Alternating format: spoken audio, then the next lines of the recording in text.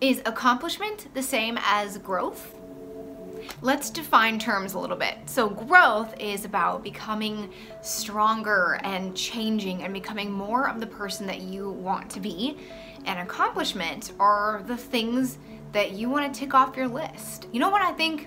I think that accomplishment is much sexier than growth. Growth is hard and uncomfortable. I think most of growth happens when nobody is watching. It's those early mornings that you are taking the time to work out or to practice new music or to run on the track if you are trying to become a great runner. It's all the choices that you make when nobody is watching and it's not necessarily fun. Accomplishments are those pretty things that look really good on Instagram that go on your resumes and are really, really exciting to share when people are like, oh, who are you? What do you do? Well, when you have a big list of accomplishments, those things are fun to share. I'm not saying they're bad at all, but Here's what I want to say. Just because you did not accomplish something does not mean that you didn't grow.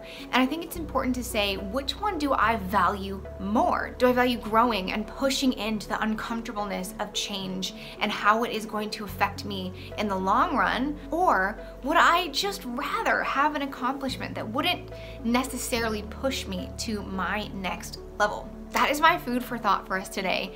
And I would love to know where in your life do you feel like, oh, I'm really crushing it here on the accomplishment scale, but I feel like I've been stagnant in the growth area. My best friend Dema gets absolute credit for thinking up this concept. I needed that reminder. Thank you, Dema this week that just because I didn't accomplish something that I had wanted doesn't not mean that I'm not growing. If you didn't accomplish a particular thing, maybe it's because there's gonna be so much more growth without that accomplishment. I'm pushing forward. I am with you. I hope that your week is off to a great start.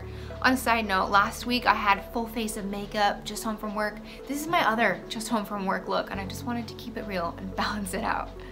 Let us have growth mindsets and move forward with intentionality and excitement. Let's go get this week, you guys. I'm sending you love wherever you are. Happy Monday.